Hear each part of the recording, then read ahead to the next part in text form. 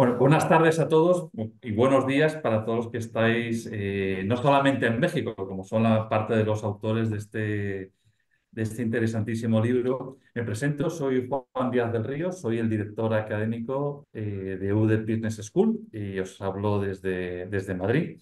Y bueno, eh, sin, mucho más preámbulos, eh, quiero dar las gracias eh, a todos, bueno, primero a todos por lo que han hecho posible, a estos 11 autores que han hecho posible la creación de este libro, ¿no? Desafiando la cultura organizacional, un viaje de descubrimiento al éxito empresarial. que ha estado coordinado por, por Julio Rodríguez y por Alexandra Solán. Eh, tengo que decir, bueno, que yo voy a dar esta parte, este arranque de esta presentación del libro eh, y después le pasaré los mandos a mi compañero Julio, eh, porque yo tengo que atender otras obligaciones académicas.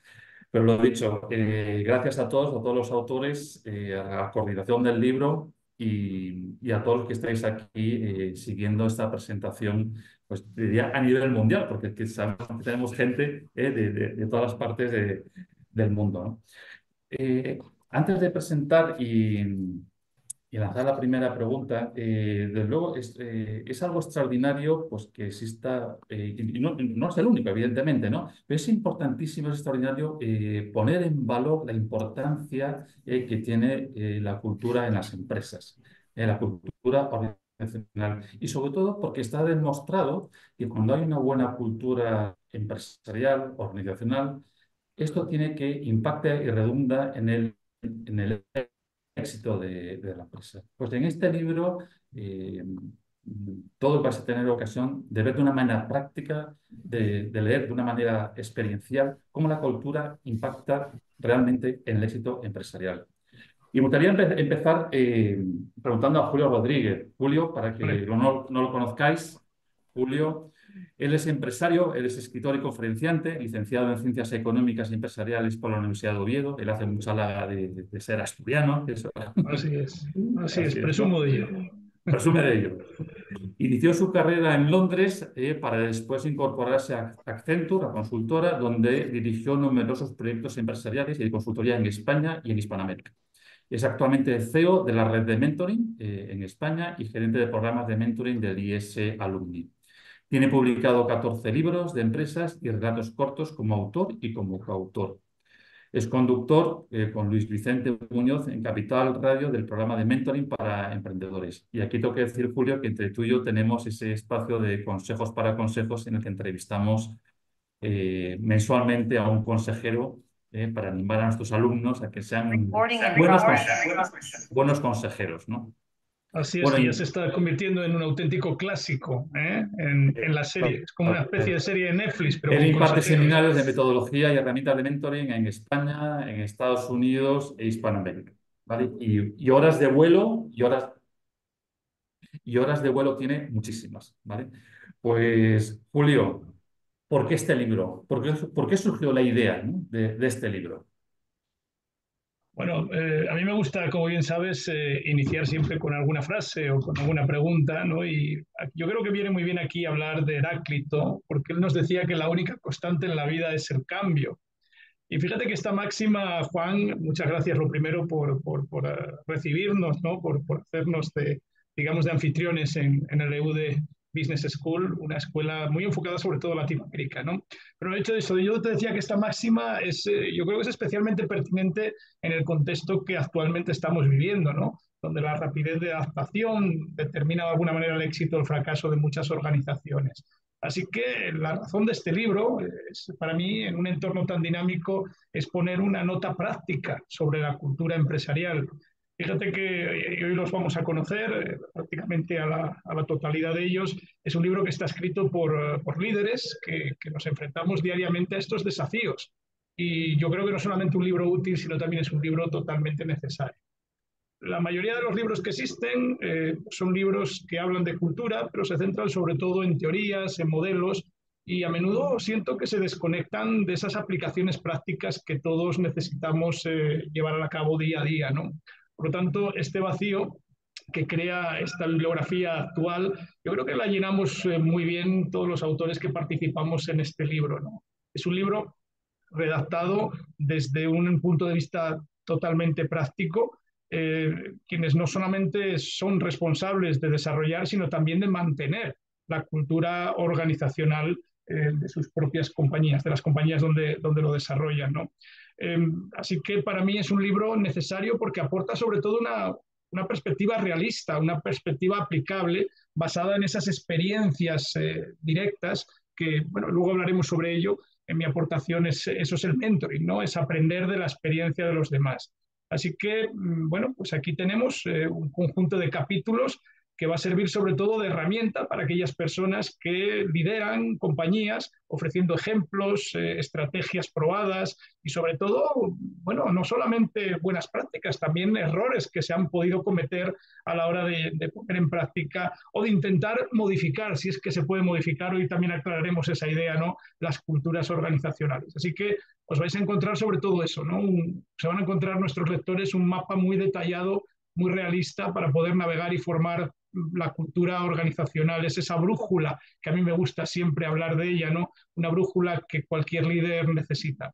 Así que esa es la razón del libro. En su día nos sentamos eh, Alejandra y yo eh, alrededor de, pues no sé si decir un refresco, un tequila, no sé qué, qué horas sean ahora mismo en México, eh, pero los tequilas siempre estimulan de alguna manera la creatividad y de repente pues nos vino ese wow a la cabeza y ¿por qué no? ¿Por qué no empezar a, a juntar pues, eh, un conjunto de autores que tuvieran mucha experiencia. Inició todo un proceso de, de, de captación de, de, amigos, sobre todo porque yo creo que esto es fundamental desarrollarlo no solamente entre gente que, sabe llevar a cabo de lo que hablamos, sino también pues, de gente pues, con, con, esa cultura también positiva, ¿no? que es lo que estábamos buscando. Y ese es el motivo.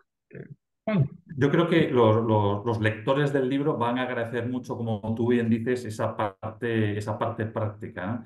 Y, y has citado Heráclito, que yo también me encanta leer mucho Heráclito, que dice que, nada permanece. Y él decía que ninguna persona se baña dos veces en el mismo río. Es decir, cuando vas a meter la segunda vez en ese mismo río, ese agua ya no es la misma, ¿no? Es decir, que qué importante es esta historia.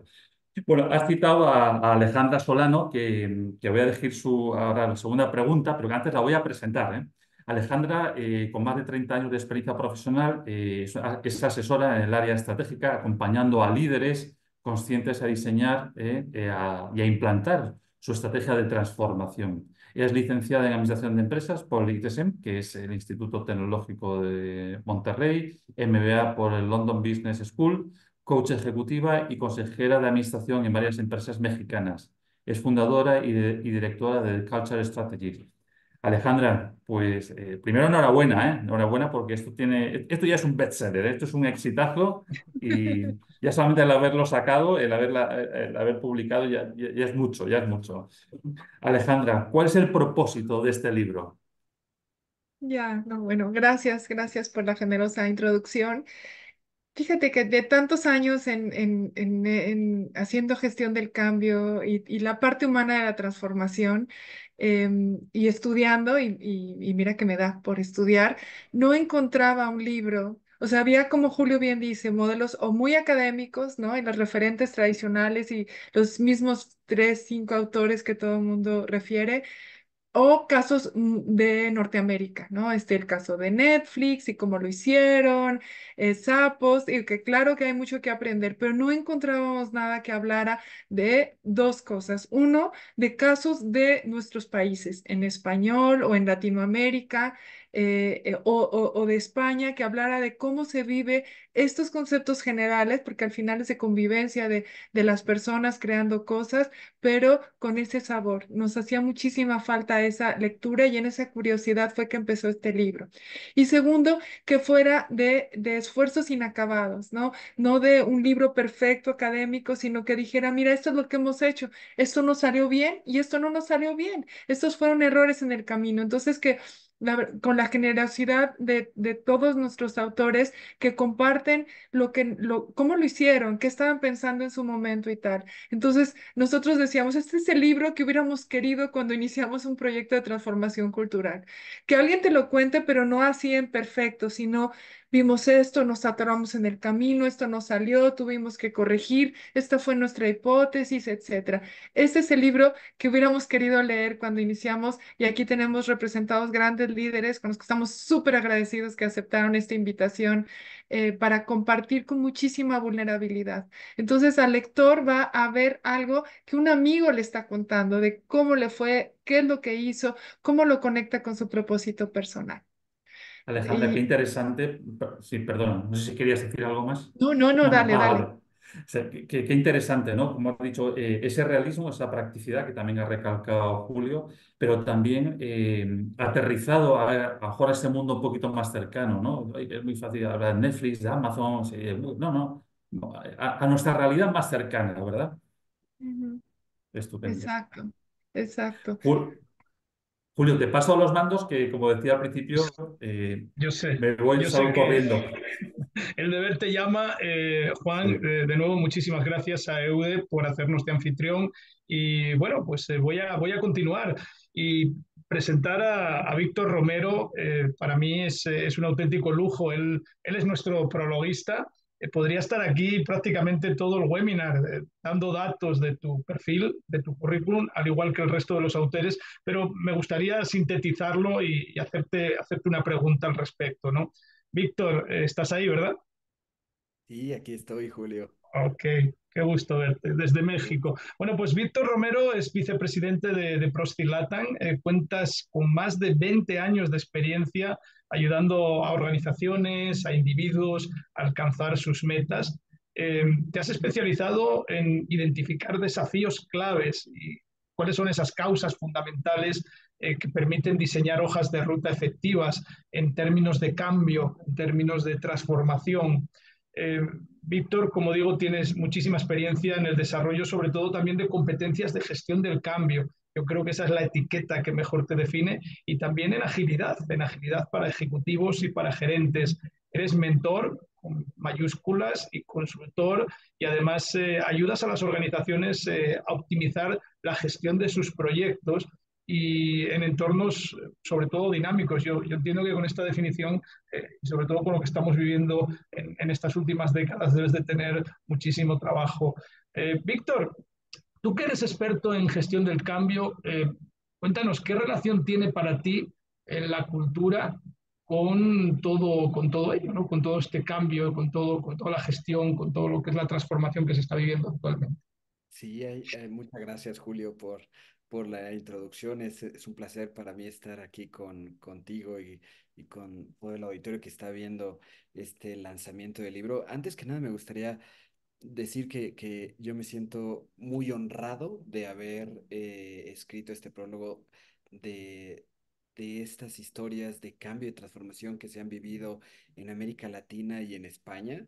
Coincido plenamente con lo que comentaste, con lo que comentó Ale, eh, y, la conexión entre gestión del cambio y cultura, lo que eh, a mí me ha tocado ver en América Latina y España es que es muy, muy cercana.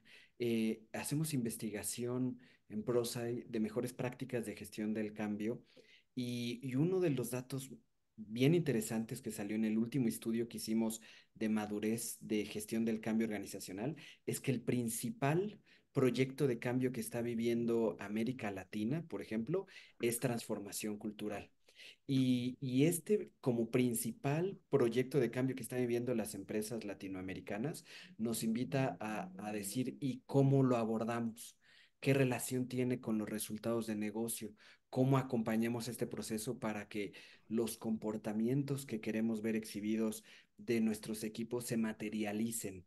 Y yo creo que muchas de estas preguntas son resueltas de manera ejemplar en este libro y aparte de una manera muy, em, muy cercana, ¿no? Narrando cómo eh, se han vivido los procesos de transformación, cómo se conecta eh, algo bien interesante a los líderes ejecutivos para que el cambio se den, cómo se conecta con los mandos medios, procesos de transformación tan grandes que, que se narran, de fusiones, de expansiones.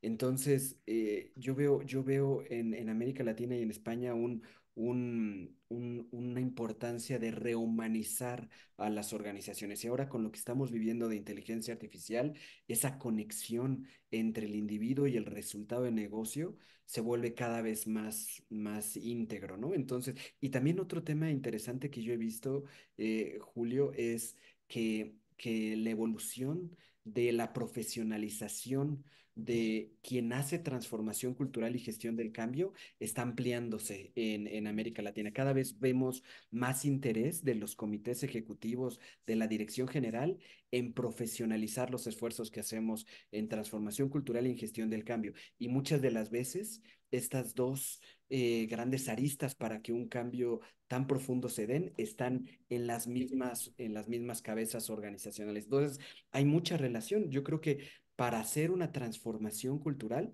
requerimos gestionar el lado humano del cambio, acompañar a los grupos impactados, a los líderes, a los mandos medios, enganchar genuinamente con los colaboradores y por otro lado, para hacer gestión del cambio en cualquier proyecto eh, que hagamos de, de, inteligencia artificial, del uso de una nueva tecnología, necesitamos considerar la cultura y el impacto que va a tener en la cultura para materializar nuestra estrategia. Entonces hay un vínculo muy fuerte, Julio, y yo creo que, que en este libro que reitero tuve el honor de escribir el prólogo, se narran historias de cambio maravillosas y sobre todo se lleva a la reflexión. Yo creo que genera muchas preguntas para, para ¿y esto cómo lo voy a hacer yo o cómo lo podría hacer yo en mi organización? ¿No? Entonces, yo, yo los invito a, a, a que lean a que lean el libro, que, que vean esta, esta mirada fresca de cómo se aborda el cambio cultural y cómo la importancia de las personas, ¿no? Poniendo genuinamente a la persona en el centro para materializar la estrategia de, de las organizaciones, Julio. Y aquí me puedo eh, estar Sí. una hora hablando y poniendo ejemplos, pero, pero sí ha Yo sido lo un sé, yo lo sé, pero qué, qué, qué, qué, qué reflexión, ¿no? La, la que nos haces, ¿no? En un, en un mundo en el que cada vez más eh, las máquinas, la inteligencia artificial, eh, todas las transformaciones que estamos viviendo, pues nos están, eh, digamos, rodeando por todos los lados. Tu mensaje de que quizás lo importante ahora es hacer foco, ¿no? En las personas, porque, bueno, en, nosotros, ¿no? Como seres humanos está ahí precisamente que todo esto, bueno, pues siga adelante y tengamos éxito empresarialmente hablando. Muchísimas gracias, eh, Víctor. De verdad que siempre es un placer escucharte y podríamos, como bien dices, a lo mejor hay que hacer un monográfico, ¿no? Por cada uno de los autores para que nos podamos explayar en condiciones. Gracias, Víctor. Bueno, pues eh, ahora tengo, ¿qué, ¿qué, puedo decir? Alejandra, ya te han presentado. Eh, yo podría decir muchas más cosas. Hace muchos años que nos conocemos, ¿verdad? Alejandra, ¿estás ahí? Sí, aquí estoy, no, aquí estoy, no, no, me, estaba temerosa de que dijeras de cómo nos conocimos y eso. No, no lo voy a decir, no lo voy a decir, no lo voy a decir, no lo voy a decir. Este, bueno, fuimos compañeros en Accenture y hicimos algún proyecto juntos ya hace casi 25 más años, ¿no? Ya, ya, ya empezamos a peinar algunas canas. Oye, Alejandra, eh, quizás la pregunta obligada, ¿eh? ¿qué es la cultura? Dinos o danos algún ejemplo relevante de la importancia que tiene el trabajar la cultura en, en una organización.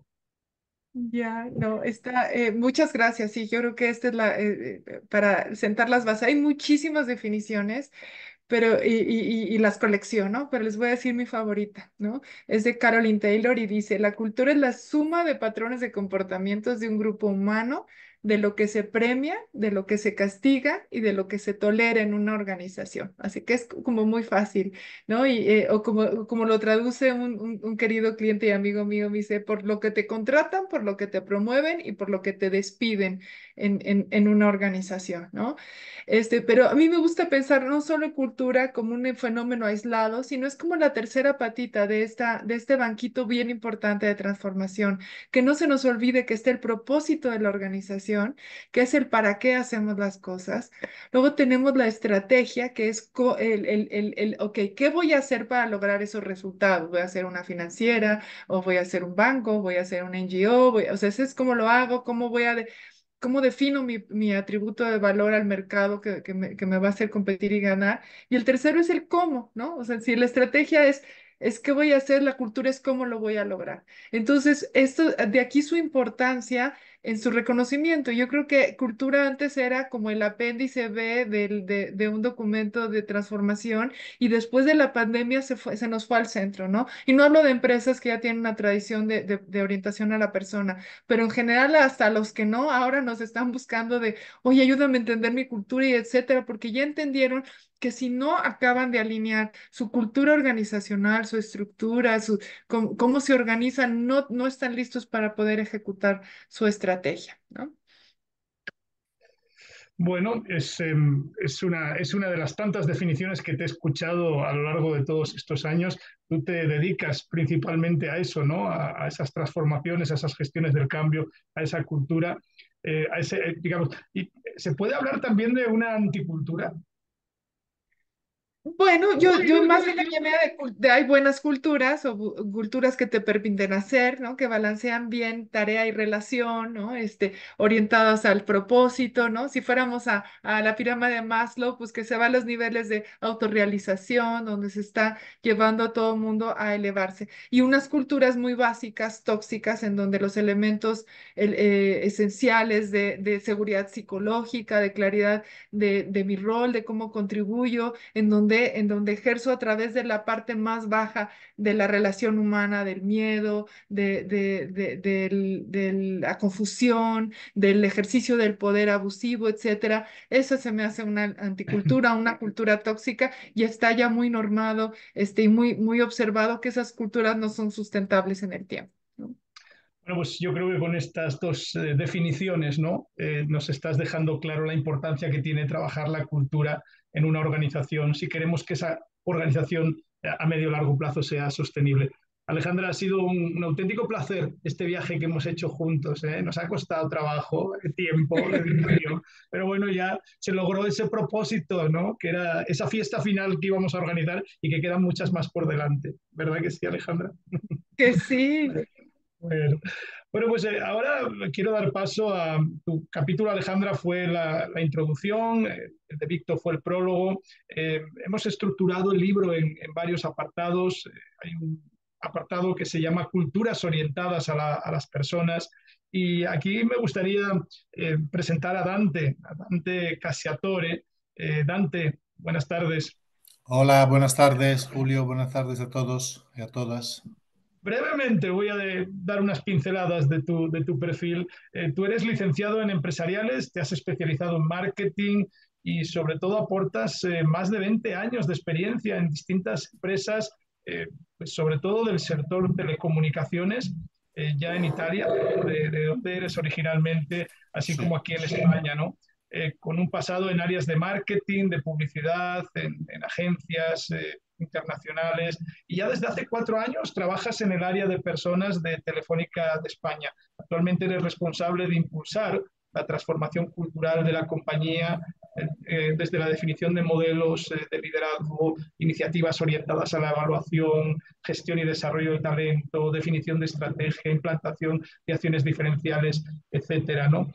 Bueno, pues con, con, esa visión práctica, con esa mochila que llevas llena de experiencias, eh, la pregunta que me gustaría hacerte es ¿por qué crees que es necesario eh, lo que es el reskilling que decimos en inglés, que es, digamos, como eh, el, reafilar de nuevo ese hacha de, de, de, las competencias, de las habilidades? ¿Por qué crees que es necesario también hacerlo en los líderes? Gracias, Julio. Efectivamente, como tú bien dices, mm, soy muy, estoy muy convencido de la necesidad del reskilling también de los líderes por el momento en el cual vivimos, quiero decir, todo lo que es la tecnología, la disrupción, la digitalización, lo, hace todavía más uh, complicado y más retador al mismo tiempo. Por lo tanto, necesitamos, eh, pienso, una gestión de las personas, como digo yo, a 360 grados. Y al final tenemos que asegurar, los líderes tienen que asegurar que la empresa, la organización dispongan del mejor talento para afrontar todos estos retos y sobre todo también ponerle en condiciones de tener un ecosistema para aprender, desarrollarse y contribuir de forma diferencial al más alto nivel. Y en este contexto tan uh, retador, complicado pero retador, y como digo yo, el partido se hace duro, el líder, fundamentalmente el responsable de equipo, tiene un rol todavía más retador o complicado. Y por lo tanto, hay que dotarle de, de conocimiento, de nuevas habilidades para poder abordar esta nueva situación.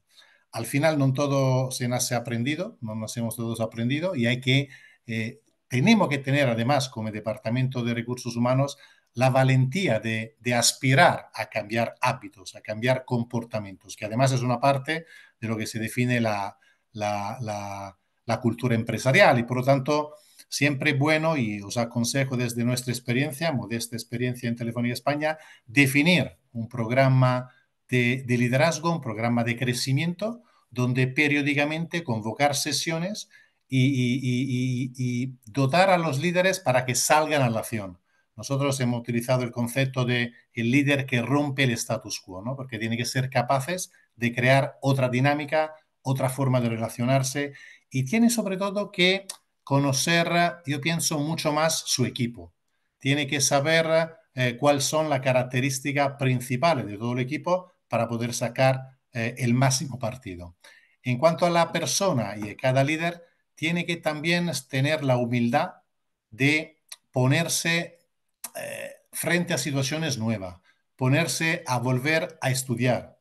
Se habla mucho de desaprender, de, volver a aprender, ¿no? Y tiene que ser capaz de dedicar horas a, a cuestionarse cómo lo hace.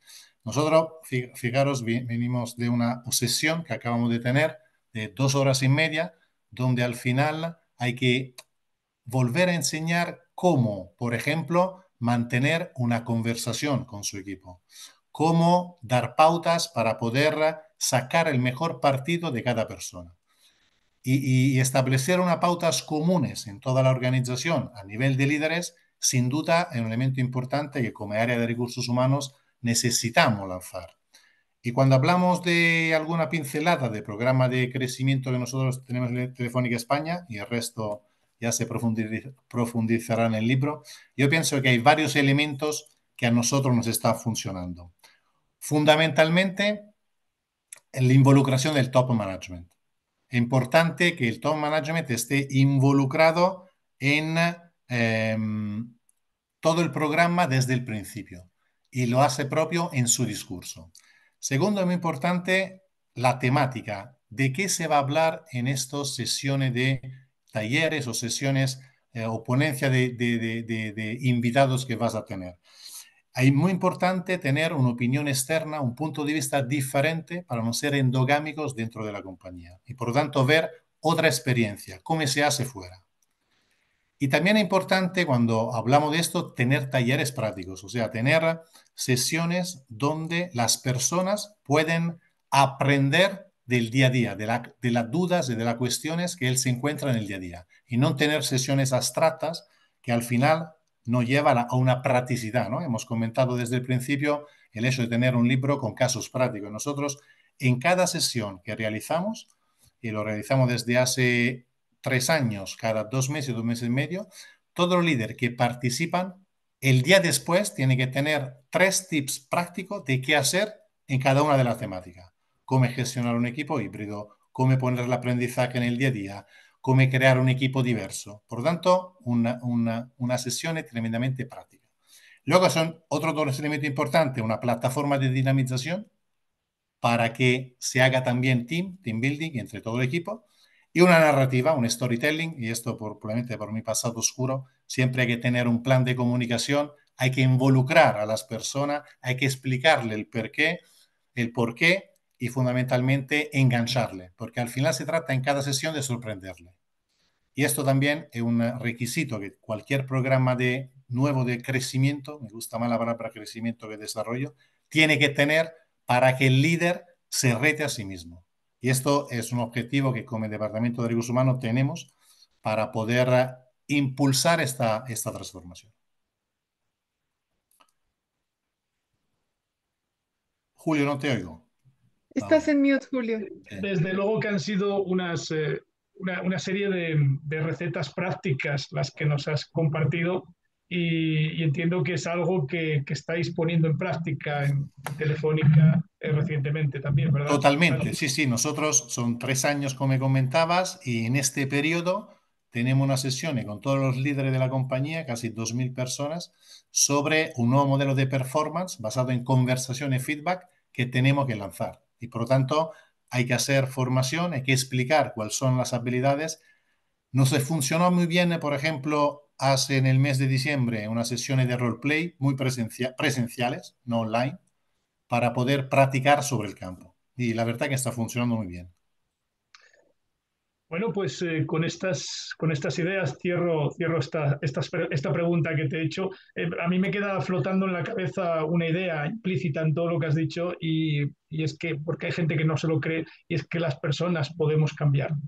Totalmente. Eh, no necesitamos grandes traumas ni grandes situaciones dramáticas, sino con ese impulso, ese empuje día a día que estáis, ese esfuerzo, somos capaces de ir como decías tú, más bien creciendo más que desarrollándonos. Muchas y, gracias. perdona, Julio, solo una cosa, no hay, no hay cambio de empresa, sino hay cambio de persona. Y aprovechar también esa sesión para agradecerte a ti, Julio, y Alejandra, toda la paciencia que habéis tenido con nosotros, porque no ha sido poco. Y da, además invito a todos los participantes a probar a escribir un capítulo de un libro. Os puedo decir que muy retador, muy complicado, pero al final lleva mucha satisfacción. Nada más, perdonar. Julio, gracias. No, todo lo contrario, gracias a ti por, por, por estas últimas palabras. Para nosotros es una, es, ha sido un viaje este, que nos ha unido, ¿no? Hemos empezado siendo amigos, pero yo creo que ahora somos mucho más que eso. Muchas gracias, Dante, por, por tus palabras.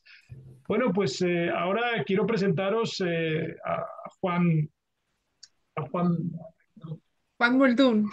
Muldo, Muldo, es que ya necesito gafas y me cuesta trabajo pronunciar su, su, apellido. Juan Muldón. Efectivamente, él no está con nosotros, pero sí nos ha dejado, ¿verdad, Alejandra? Un, un vídeo donde, bueno, pues hace una, una reflexión. Eh, presentar a Juan, él es eh, Chief People Officer del Grupo Bimbo, director global de personas de, del Grupo Bimbo desde julio del año 2019. Eh, también se desempeña como Chief Diversity Officer eh, eh, tiene una licenciatura en Administración de Empresas de la Universidad Iberoamericana y cursó un diplomado en Finanzas en Southern Methodist University y también tiene un diplomado en alta dirección en la Universidad Adolfo Ibáñez en Santiago de Chile. Yo no sé si me, se me escapa algo importante, Alejandra, porque tú conoces bien a Juan Muldón. Claro, no, bueno, eh, eh, lo quiero muchísimo más que fue mi ex jefe, así que muchísimo cariño, un hombre apasionado en una cultura orientada a la persona, en una empresa que en Latinoamérica y creo que en el mundo es un icono de su cultura orientada a la persona. Así que estamos muy contentos que, que, que sumaron a este libro. Él está viajando ahorita en África del Norte, entonces no nos podía acompañar, pero nos dejó eh, un, un, un video para compartir su experiencia en el capítulo que nos compartió. Así que Miriam, adelante, que Miriam. Entrada vídeo.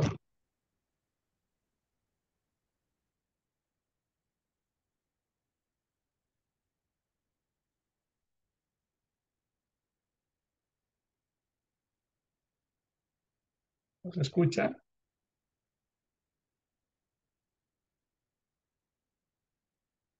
No se escucha. Creo que eh, tienes que compartirlo con audio, Miriam a la hora de compartir pantalla, déjame que lo comparto yo.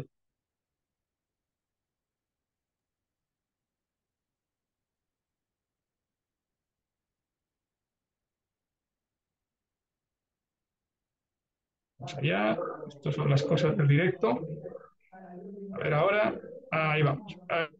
Y, por dar el tiempo para acompañarnos en la presentación de nuestro libro Descifrando la Cultura Organizacional.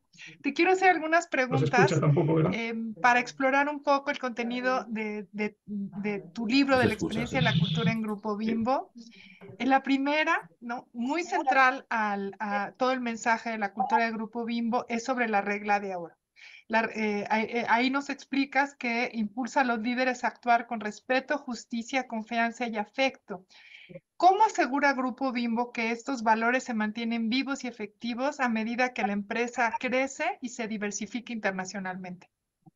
Y eh, pues muchas gracias, Ale, gracias por la invitación a, a compartir. y qué bueno que existe este interés en la cultura de Grupo Bimbo, que como tú y yo lo hemos platicado mucho, es, una empresa con una cultura bien, bien, bien singular y, tenemos mucho de ello, mucho de la cultura de Bimbo está anclado precisamente en la regla de trato que tenemos aquí en, en la empresa. Y quiere decir que la empresa privilegiamos que entre jefes y colaboradores y entre compañeros y realmente con toda persona con quien interactuamos haya un trato de respeto, de justicia, de confianza y de afecto. Casi todas las empresas hoy tienen que quitar al menos el respeto y la justicia, de otra manera no. Nadie se quedaría a trabajar en una empresa donde le faltan al respeto todos los días o donde no le cumplen lo prometido, que es como nosotros vemos la justicia y el respeto. Pero en donde mismo va un paso más allá, es en buscar que de veras haya una genuina confianza en la buena voluntad entre nosotros. O sea que al establecer una relación de trabajo con Grupo Bimbo, el colaborador recibe el 100% de la confianza de la empresa. La empresa confía al 100% en su buena voluntad. ¿Qué quiere decir esto? No te tienes que ganar la confianza. Ya confiamos en tu buena voluntad. Eso no quiere decir que no tengamos que darte a ti como colaborador entrenamiento, capacitación, adiestramiento para hacer bien tu trabajo, pero confiar en tu buena voluntad es un hecho. Y esto es una cosa que realmente eh, creo que nos distingue. Finalmente, buscar una, un ambiente de sana camaradería, de afecto, en donde nos podemos llevar todos, pues una relación de camaradas, de que compartimos una misión, un propósito, y esto nos hace ser muy naturales y muy cómodos en la relación interpersonal. Eh, yo lo equiparo un poco al ambiente que todos, todos vivimos en la escuela. En la escuela había tensión, había a veces broncas, había dificultades, pero había una camaradería que es lo que buscamos nosotros también replicar. ¿Cómo aseguramos que se mantenga y que nunca se pierda o que no se diluya? Y aquí hay algo que estoy seguro de que tú estarás de acuerdo en que la cultura es definida por el, por el más alto directivo de una empresa. El sello que el directivo de un equipo, el jefe superior de un equipo, le pone a lo que prioriza, a cómo se conduce, qué rituales sigue, cómo asigna su tiempo, cómo asigna sus presupuestos, cuáles son las cosas que importan el alto directivo, el jefe de un equipo de trabajo, eso va a marcar la cultura. Entonces, para nosotros es fundamental seguir asegurando la calidad de jefes.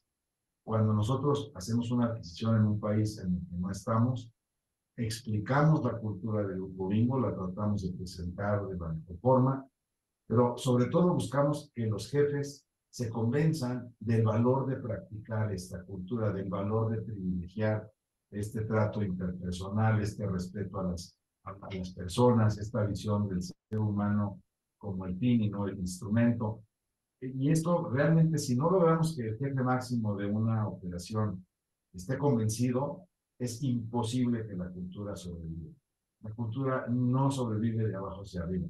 La cultura es la conducta que demuestra y que practica en el día a día el más alto directivo de un equipo de trabajo entonces, por eso insisto, mm, yo creo que la receta que Bimbo ha, exitosa que Bimbo ha tenido, es que a lo largo de 79 años ya casi, hemos privilegiado siempre la calidad de jefes, la calidad de los líderes, que los líderes sean gente que esté muy congruente y muy convencida. Y cuando no lo comparten, cuando el jefe no se comporta de acuerdo con la cultura que la empresa quiere, sinceramente se generan todo tipo de alertas, alarmas, anticuerpos y esa persona termina o aprendiendo y, y practicando la cultura correcta o saliendo de la iglesia. Estupendo. Pues muchísimas gracias, Juan, por aceptar la invitación a participar y compartir eh, eh, la, los, los secretos de la cultura de Bimbo que es tan admirada en todo el mundo. Gracias y hasta pronto. Muchas gracias a ti, Ale. Que tengan un muy buen día.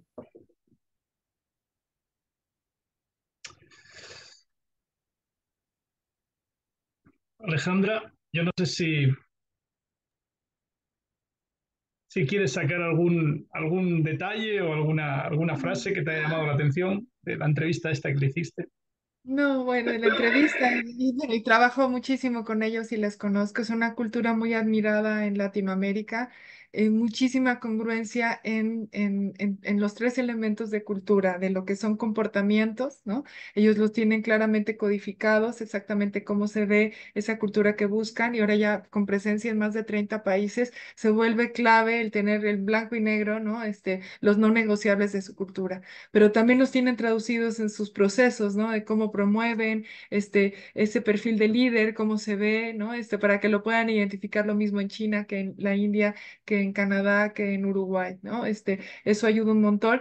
Y un tercer elemento, tienen anclados muchos rituales muy bimberos, ¿no? Que ayuda a hacer muy cercano este, a cualquier colaborador en cualquier esquina eh, lo que es importante, ¿no? Cápsulas de cultura, este, y de verdad un empoderamiento. O sea, me han tocado visitar plantas de, de, bimbo en donde, por ejemplo, me, me quiero cruzar por donde no debe de ser y tiene una, una pasión por la seguridad y que un eh, trabajador eh, de primer nivel, o sea, se va a acercar y va a decir, señorita, usted no se puede ir por ahí, se tiene que regresar. Y está creada esa cultura y el contexto para que lo vivan este, como, como lo tienen codificado. Así que bueno, una cultura ejemplar, es un regalo tener una experiencia de vivo. Ellos son muy discretos en compartir lo que hacen, así que les agradecemos su generosidad para que otras empresas puedan ver lo que están haciendo y, y, copiar sin pena lo que funcione para, para crear culturas orientadas a la persona.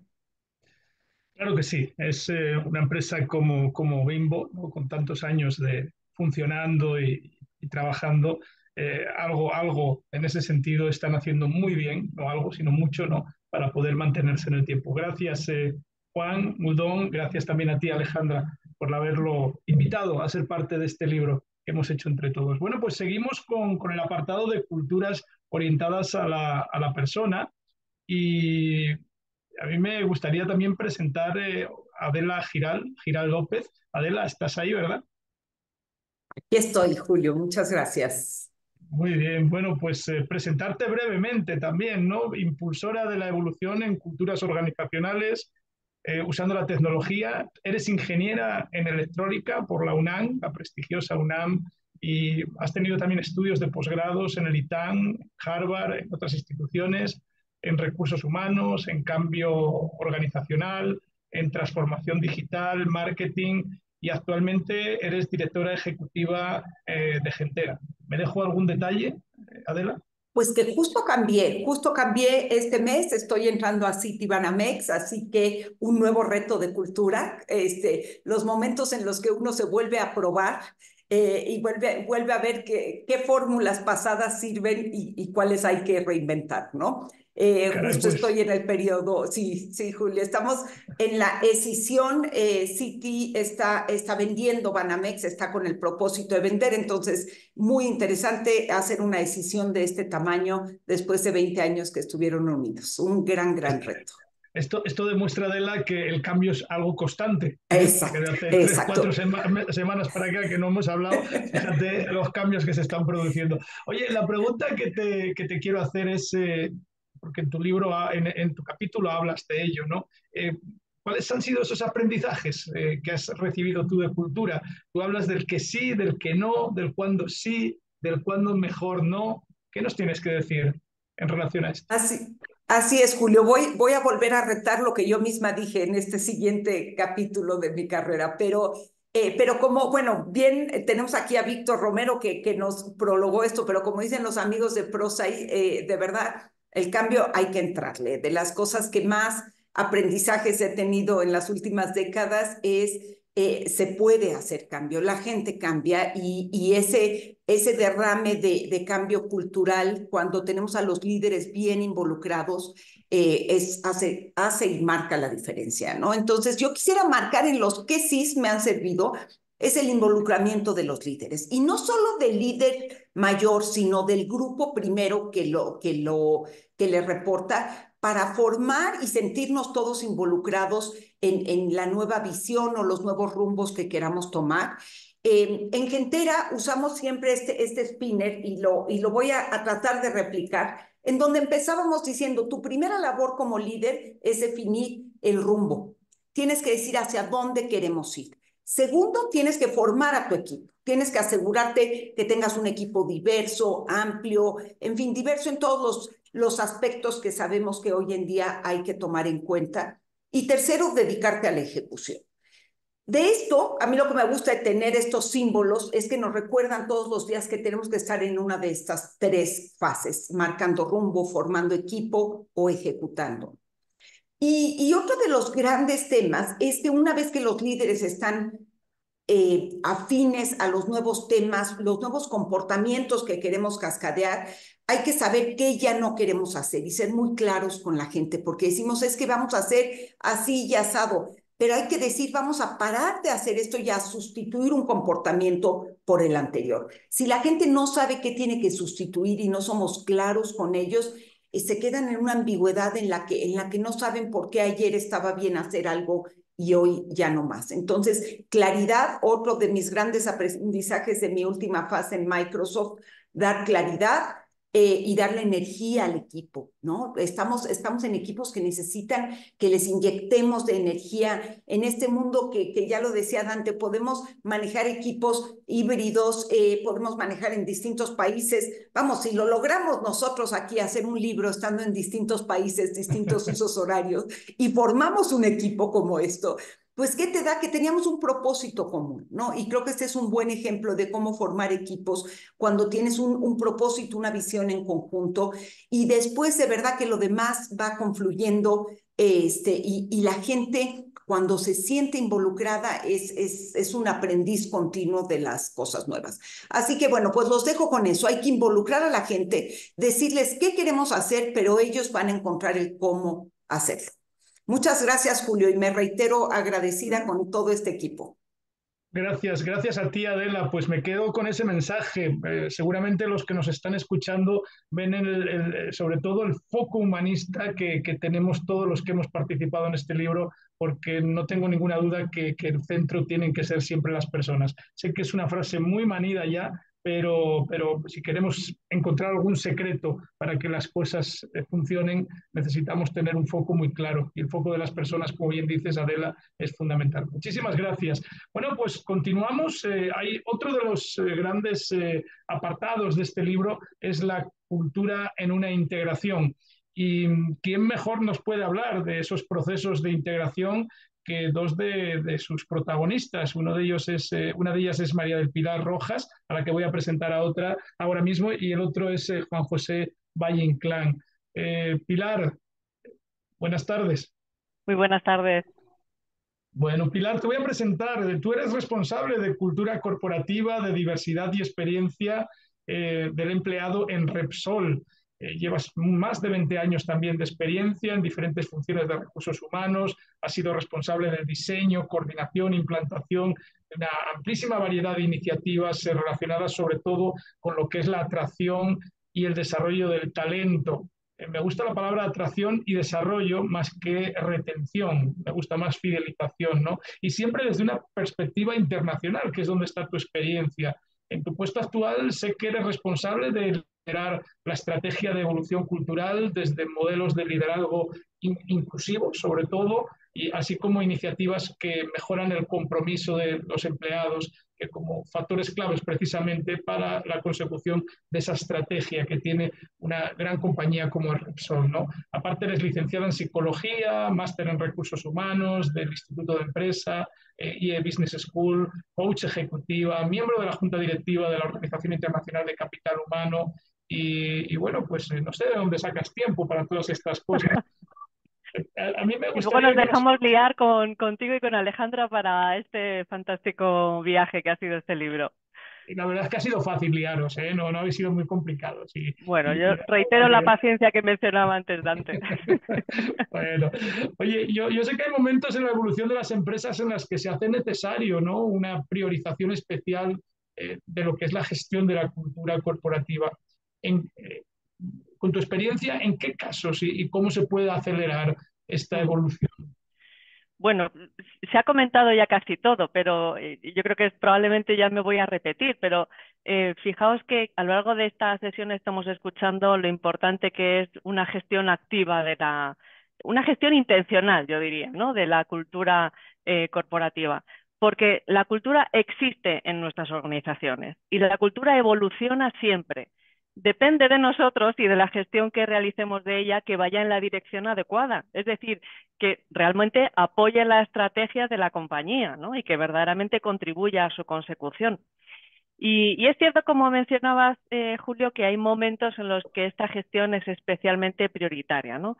siendo siempre importante, pues en, momentos de cambio, como mencionaba antes Víctor, eh, en momentos de cambio significativo, de transformación, en, momentos de expansiones internacionales, momentos de, crisis organizativas por el contexto socioeconómico, transformaciones internas, eh, una crisis reputacional, o como es el caso que hemos compartido desde Repsol, pues en un momento de, fusión o de adquisición de compañía, ¿no? Donde dos empresas con culturas fuertes, con historias previas, con viajes organizacionales anteriores, pues se unen y, eh, bueno, pues tienen que iniciar una nueva aventura común desde una base que todavía no es compartida, ¿no? Y claro, para llegar a ese compartir la visión, compartir ese objetivo, pues hay algunos elementos que son importantes tener en cuenta y algunos de ellos ya se han mencionado, ¿no?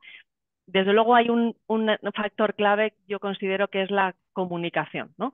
Es nuestra gran palanca. Hay que decirle claramente a las personas por qué están ocurriendo las cosas, cuál es el propósito, qué beneficio va a tener la organización, cómo va a impactar en las personas, por qué esto es útil.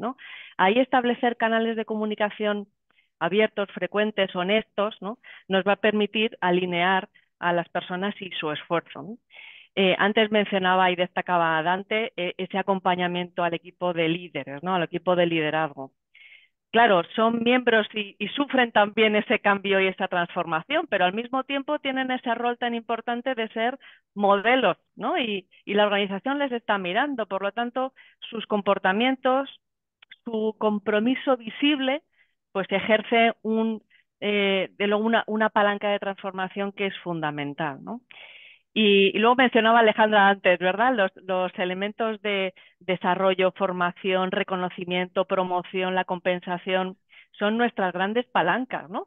Mencionaba Alejandra, el sistema de premios y castigos, pues claro, todos estos procesos de desarrollo, de crecimiento, de formación, fíjate que siempre decimos que eh, una comunicación sobre promociones en una empresa es el gran elemento de información cultural, ¿no? Porque es realmente donde la compañía se juega la coherencia entre lo que ha dicho y lo que verdaderamente está haciendo, ¿no? Requiere ese ejercicio de coherencia importante que, que, bueno, pues las decisiones finales son donde verdaderamente se ve si la dirección en la que la compañía dice que quiere ir es la que está premiando después con sus procesos, ¿no?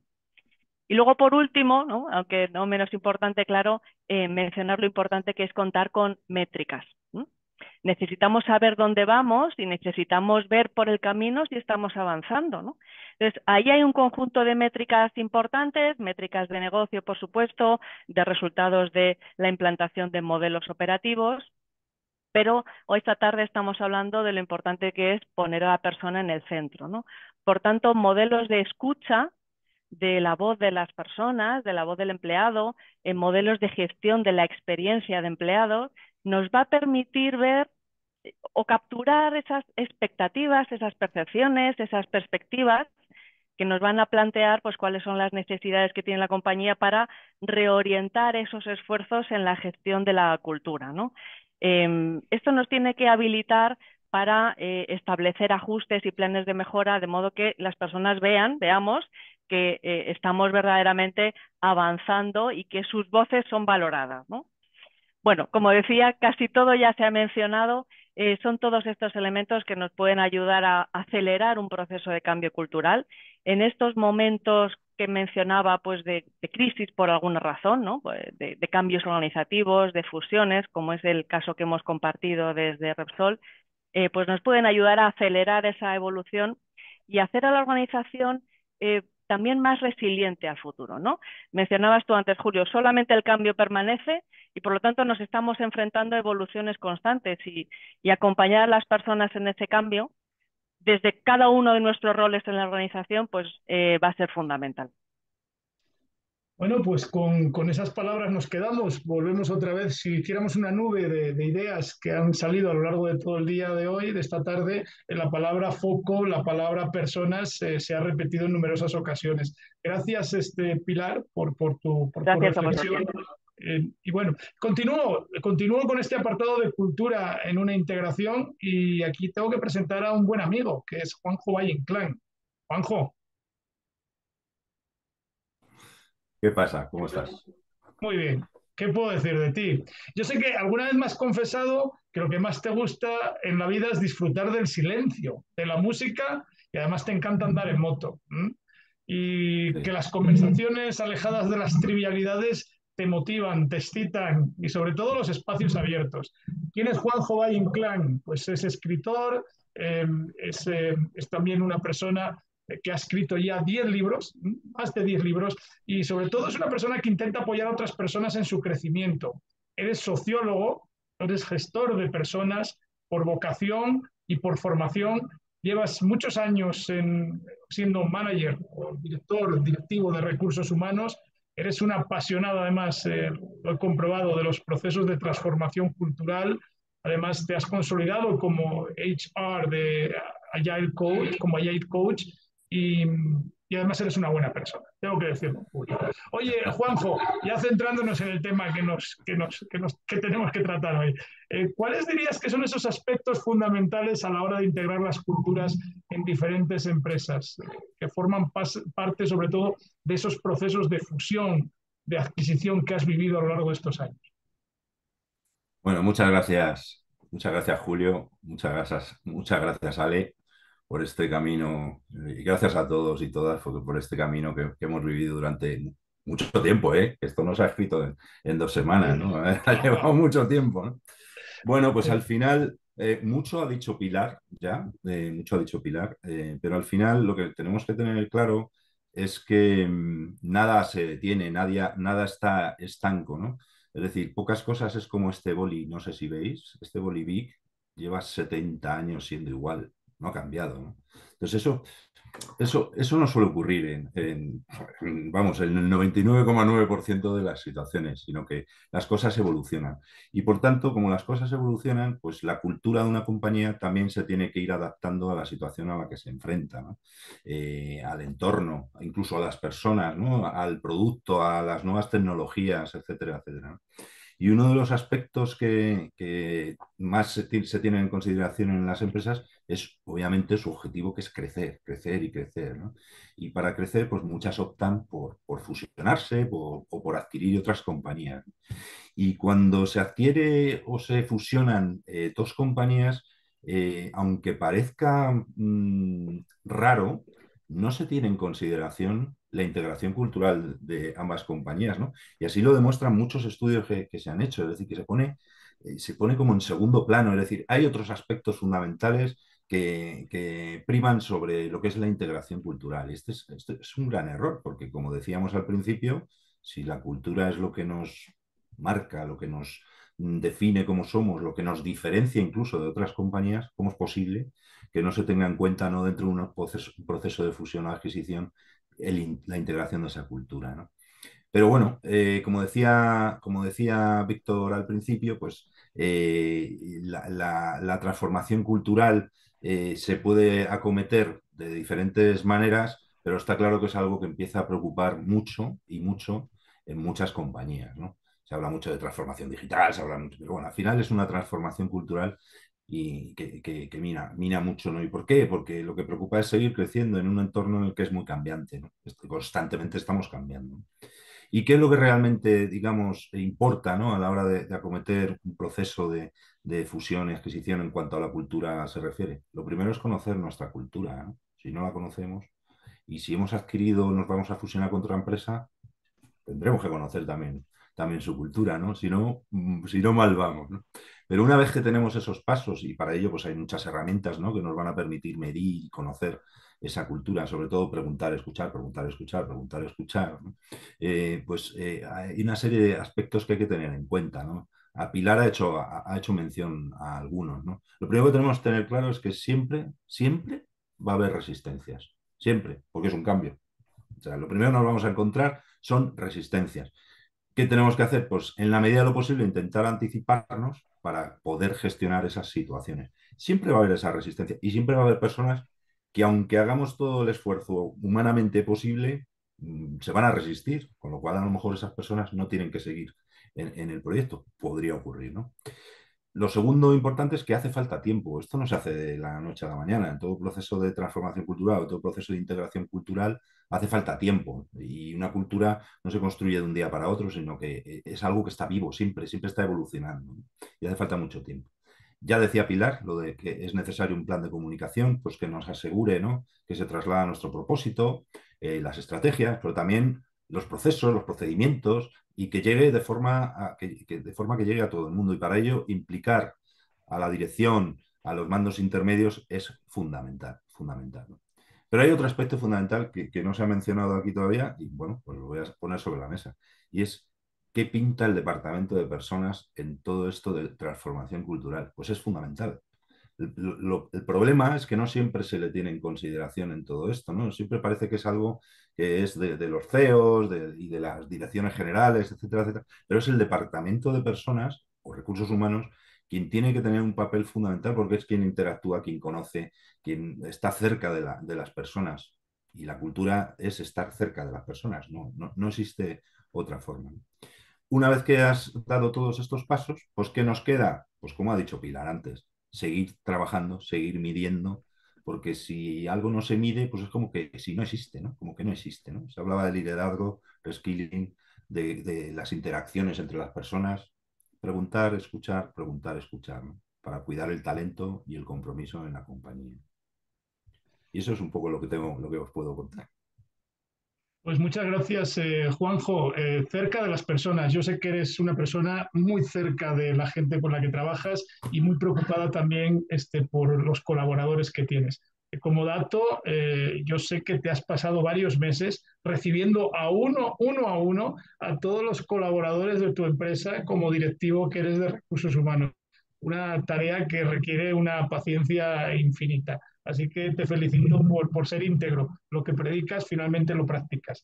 Bueno, eh, yo también he escrito un capítulo. Preguntarme a mí mismo podría ser una cosa extraña y como ya estamos casi sobre tiempo, pues voy a dar unas pinceladas. Eh, la pregunta es cómo puede el mentoring contribuir, eh, digamos, al desarrollo cultural en una organización y yo creo que es una herramienta clave. Es una herramienta clave porque sabéis que el mentoring sobre todo es aprovechar la experiencia de los que saben para que acompañen a aquellos que necesitan esa experiencia, esa sabiduría. No sustituye para nada la formación, es un complemento poderosísimo, pero sobre todo el mentoring sirve para transmitir valores, para promover una cultura de desarrollo constante, de valoración, fomentando el crecimiento, para desarrollar también el liderazgo, para ayudar a futuros líderes, para mejorar la comunicación, para mostrar ese compromiso que se tiene con el bienestar de los, de, los, trabajadores, mejorando su satisfacción. Está demostrado y lo tenemos muy estudiado que reduce la rotación, permite también fomentar la diversidad, la inclusión y sobre todo se crea una red de apoyo, de generosidad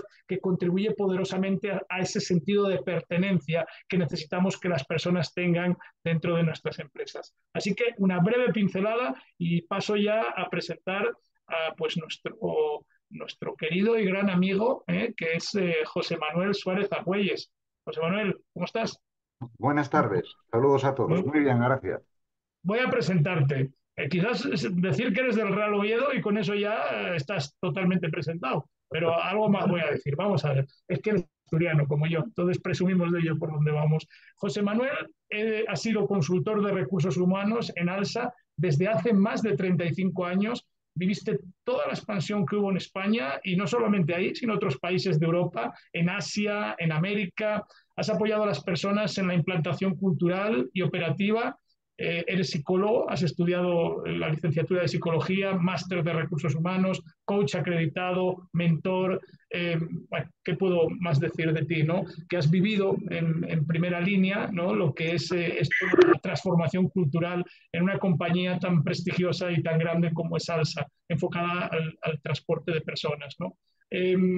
José, José Manuel, Cuéntame, vamos a ver, ¿cómo crees tú que condiciona la cultura el desarrollo de las organizaciones?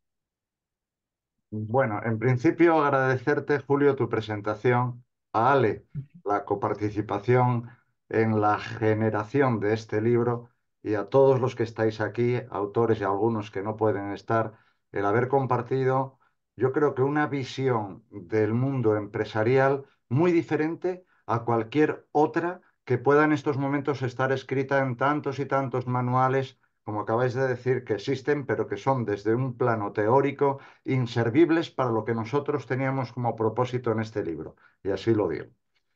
¿Condiciona la cultura el desarrollo de las organizaciones? Claro que la condiciona, totalmente. Tal y como te muestras, es reconocido y te abre o, cierra puertas. Eh, tu reputación es clave en el éxito de, de, tu negocio y en su desarrollo.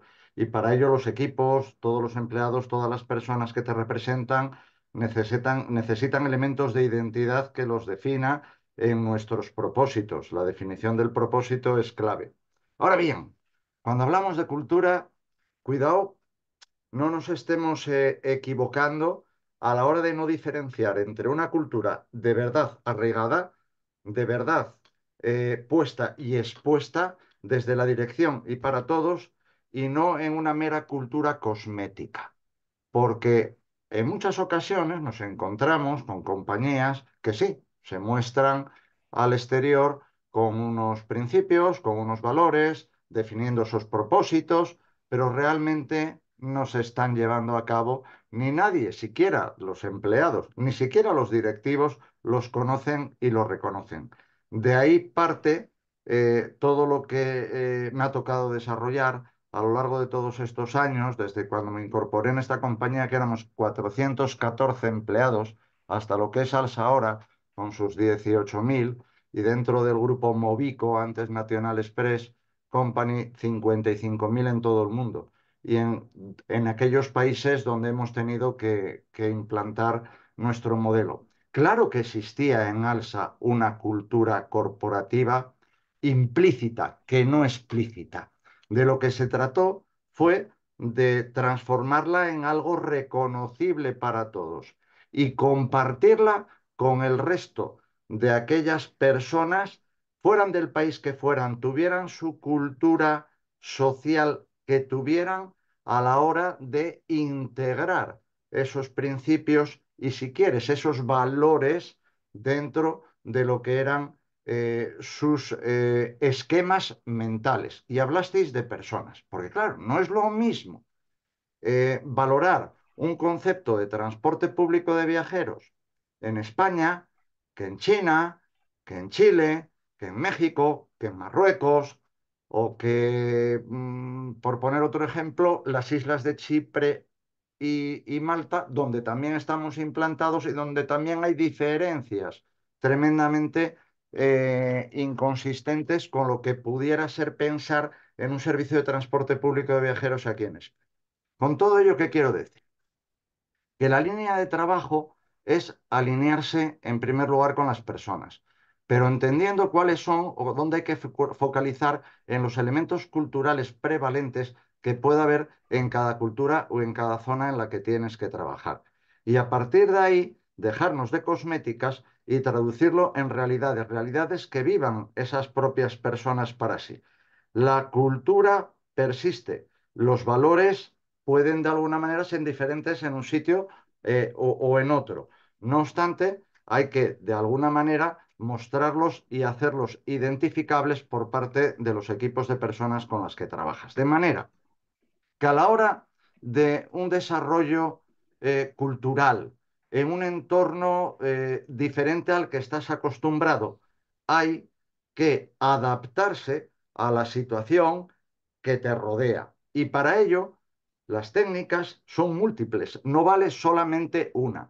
En unos sitios te tendrás que adaptar, en otros tendrás que emplear un método sumativo, inclusivo, de alguna manera integrando parte de lo que ya tienen ellos como base cultural con la tuya. En otros sitios tendrás que hacerlo de forma inversa, es decir, adaptarte tú necesariamente a lo que ellos de alguna manera te exigen, porque va a ser difícil si no el cambiar. En otro habrá que establecer una reciprocidad, mirarse ¿eh? frente a frente y decir, somos lo mismo, tú y yo, cojamos lo mejor que tengamos cada uno, ¿no? En fin, hay que analizar cada contexto y en cada contexto adaptarse a las situaciones, nunca rompiendo lo que son tus principios, tu base cultural, pero sí adaptando lo que son los valores y o lo que son con las simbologías con lo que son los elementos que intervengan, con los materiales, con las costumbres, antes decíais, hasta con los rituales, a la zona o la situación en la que estés, aprovechando todo lo bueno que tengan las personas en cada sitio. Y esto es lo que os puedo contar desde un plano un tanto teórico, porque acabo de meter aquí unos conceptos teóricos, pero bueno, que a mí me ha servido durante todos estos años y que expongo en el libro de una manera un poco más esquemática para que se haga entender cuál fue el trabajo que desarrollamos en, ALSA. Eh, eh, gran trabajo, este, José Manuel, y sobre todo la pasión, la pasión que le pones a las cosas. Yo sé que tú haces eh, presente esa frase que dice que búscate un trabajo que te apasione y no tendrás que trabajar en la vida, porque desde luego rezumas alegría y sobre todo eso pasión de lo que hablas. Bueno, pues eh, estamos ya en, esta recta final, Alejandra. A mí sí me gustaría que nos dieras unas pinceladas de, esas, de esos otros autores que no nos han podido acompañar hoy y que es de lo que hablan precisamente en sus capítulos. Ya, exacto, exacto. Eh, hay, dos autores que por, por conflictos de agenda de viaje y, del, y que la tecnología no cooperó en este remoto lugar donde están trabajando hoy, el primero es Thomas Exmith, que em, eh, nos, regaló un capítulo de cultura consciente, ¿no? Thomas Exmith es un, ah, un autor prolífico, em, fue eh, coautor con, con eh, Rashi Sodia en el Manual Práctico de Cultura de Capitalismo Consciente. ¿no? Y entonces, y en ese mundo lo conocí y nos regaló un capítulo en donde elabora en particular cuáles son los elementos de una cultura consciente, con muchas herramientas prácticas eh, de, cómo lo podemos este, llevar a la vida diaria. Entonces, definitivamente un, un, un capítulo de referencia. Eh, así como el, de, el que les compartió Julio, pensamos que era un buen complemento a los casos prácticos que en algunos temas tuvieran un deep dive de cosas de cómo lo pueden aplicar. El, y, el, nuestra otra autora ausente es Ana Gaby Alcántara. Ella es gerente de cultura en Grupo Cuprum, que es una empresa muy importante del norte del país, que ha hecho un trabajo muy comprometido de transformación cultural eh, hacia una cultura constructiva. Entonces, su, capítulo es bien práctico, tiene muchos, muchos elementos de cómo fueron midiendo en el tiempo, cómo fueron muy orientados al número, al resultado, para ser muy rigurosos en cómo le iban dando seguimiento, qué recetas fueron probando para ir moviendo ciertos elementos de la cultura y cómo lo fueron cambiando en el tiempo. Entonces, pues Tomás y Ana Gaby están aquí presentes en nuestro corazón, contribuyen muchísimo al, libro y, pues bueno, así le dimos la vuelta. Y eh, Javier Vicente tampoco nos pudo acompañar. Él habla en un proyecto bien bonito de Cofares en, en, en cómo llevar una cultura de innovación. Eh, eh, tienen muchos elementos prácticos de, de, las cosas que fueron probando, también muchos novelos de referencia, a pesar de ser de un caso de una empresa, tiene muchísimos referentes en el capítulo de, de, de, de dónde se inspiraron para, para aplicarlo. Entonces, cualquiera que esté trabajando en explorar el tema de innovación, también es un capítulo bien útil para que se hagan de recursos y tengan un lugar para empezar. ¿No? Entonces es lo que buscamos de, de todos los capítulos. También, una, digo, y no me lo preguntaron, pero se los voy a responder. Es un libro que se puede leer de muchas maneras. Al, al, en, la, en, la, en las últimas ediciones, y vaya que hicimos este, decidimos reclasificarlos por los grandes temas para que para el lector pudiera decir, yo estoy viendo un tema de innovación, estoy en un tema de transformación de líderes, estoy en un tema de, de, de, de cultura más orientada a la persona, pudiera encontrar juntos los capítulos más afines a ese tema que está buscando explorar. Entonces, con, con, toda la confianza, lean lo que les haga sentido en cada momento y ojalá sea un referente eh, de acuerdo al reto que estén teniendo, ¿no? Y, que por favor, si tienen dudas, pues contáctenos. A lo mejor les podemos compartir alguna anécdota adicional que, que no hizo la versión final, pero les puede ser relevante a lo que estén trabajando. Así es, 11 autores, los 11 magníficos y un magnífico también prologuista, nuestro querido Víctor. Oye, para terminar, pues ya nos quedan unos minutos nada más, a mí me gusta siempre que bueno, pues nos dejéis vosotros alguna perla de sabiduría, ¿no? Alguna reflexión, alguna frase, algo que normalmente repitáis que tenga que ver o no con la cultura, pero que sirva también a la gente que nos está escuchando de reflexión. Juanjo, ¿cuál suele ser esa frase de cabecera que sueles decir siempre? Bueno, pues que lo que, pues básicamente que lo que no se, no se, no se puede medir no existe. tienes, que, tienes, que, tener todo posible para poder medir las cosas, pues si no, mal vas. Bueno, pues eh, ahí que leamos, que lean tu capítulo y sabrán de alguna manera cómo responder a esas preguntas. Y en tu caso, Adela, ¿cuál es esa, esa frase que normalmente te acompaña? Pues mira, más que escuchar o además de escuchar a la gente, lo importante que es que la gente se sienta escuchada. Muy bien, ahí queda. Votando, como quien dice en términos futbolísticos, la pelota, eh, José Manuel, ¿y la tuya cuál suele ser? Hombre, yo digo aquello de, de todo sobre ruedas y cada uno con sus cada unadas, ¿no? Pero bueno, a, resolver. Bueno, bueno, bueno, bueno. Ala Oviedo. Eh, María del Pilar, ¿cuál es, ¿cuál es la tuya? Pues mira, yo solo recordar que las empresas no hacen los cambios, los cambios los hacen las personas que formamos parte de las organizaciones. Entonces, poner a la persona en el centro siempre va a ser una buena inversión. Muy bien. ¿Y Alejandra? Yo quiero referirme a una frase muy trillada de cultura y, mi reinterpretación, porque dicen que Peter Drucker dijo que la cultura se come la estrategia para el desayuno. Entonces digo, bueno, en lugar de, si ya sabemos que eso va a pasar, pues ¿qué hacemos para invitarlos juntos, que desayunen, se tomen el café y se pongan de acuerdo? Yo creo que son las dos caras de la moneda. Está la estrategia, es lo que queremos lograr y cultura es cómo lo logramos. Entonces no dejemos de invitar al invitado más importante. Muy bien, pues eh, a ver, la mía ya la conocéis mucho, porque la he repetido muchas veces. Es que si quieres, eh, como decía Newton, si quieres llegar a ver más lejos, súbete a hombros de gigantes. Y desde luego que yo he tenido la suerte de subirme en hombros de auténticos gigantes para, para poder llevar a buen puerto este libro y que si nuestros eh, oyentes, nuestros lectores quieren ver mucho más lejos, que lean este libro porque es un auténtico gigante que les hará ver muchísimo más allá.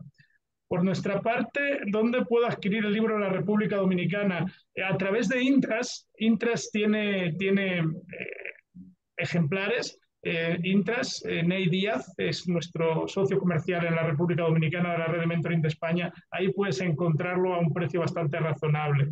Y Yolanda nos dice que muchas gracias por coordinar y escribir este extraordinario libro que aporta tanta experiencia sobre cómo gestionar y transformar culturas organizacionales.